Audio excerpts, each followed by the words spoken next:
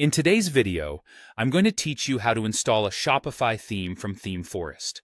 Whether you're running an online store or just setting up your Shopify for the first time, knowing how to install a premium theme can really make your store stand out and provide a unique experience for your customers. Let's get started.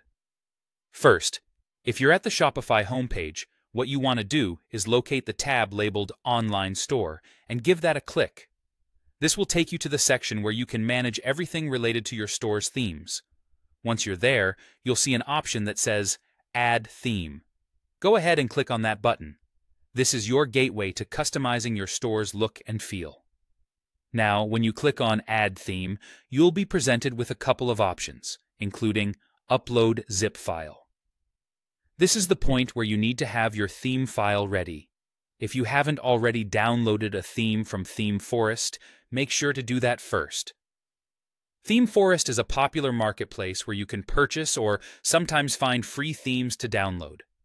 Each theme there usually comes in a compressed file format, so make sure you have that downloaded onto your computer. After ensuring you have downloaded your theme, simply click Upload Zip File on Shopify navigate to the location on your computer where the theme file is stored and select it. This process will start uploading the theme to Shopify. And just like that, you're on your way.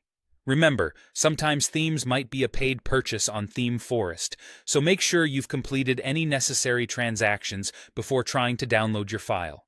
Once your theme is uploaded, you might need to configure a few settings to tailor it to your brand's identity. This is where the fun begins, and you can start adding your personal touches to make it uniquely yours. It's important to explore the different customization options available within the theme to really make your store pop. And there you have it. Uploading a Shopify theme from ThemeForest is a straightforward process that can have a huge impact on your online store's presentation.